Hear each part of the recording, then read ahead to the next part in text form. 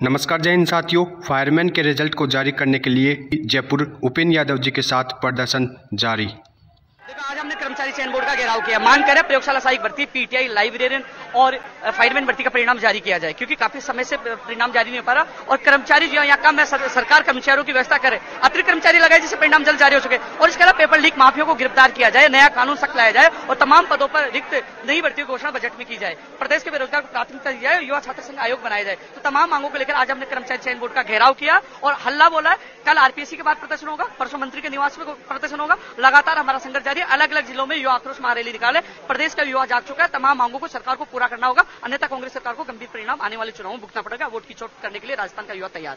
तो देखिए बेरोजगारों की अलग अलग मांगे बात कर लेते अलग अलग भर्ती से आप कौन सी भर्ती से जुड़े? क्या मांग लेके आए? सर हम पीटीआई की भर्ती से जुड़े हुए हैं और हमें चाहिए कि हमारा 16 तारीख को डीवी हो चुका है 16 दिसंबर को। इसके बाद आज तक हमारा परिणाम जारी नहीं किया जाए तो तत्काल हमारा परिणाम जारी किया जाए।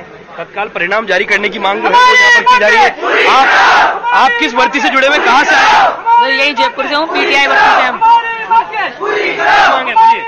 पीटीआई का रिज़ल्ट जल्द से जल्द जारी करवाया जाए। काफ़ी टाइम होगा रिज़ल्ट आए हुए लेकिन फाइनल परिणाम जारी नहीं करवा रहे हैं। आप कहाँ से आए क्या मांग लेके आए? मैं जयपुर से आई मैं जयपुर आई और मैं चाहती हूँ जो सेकंड लिस्ट है जिसमें सामान्य प्रक्रिया लगने वाली है वो चाहती हूँ कि जल्द से जल्द जारी हो ताकि फ़र्स्ट लिस्ट के साथ हमारा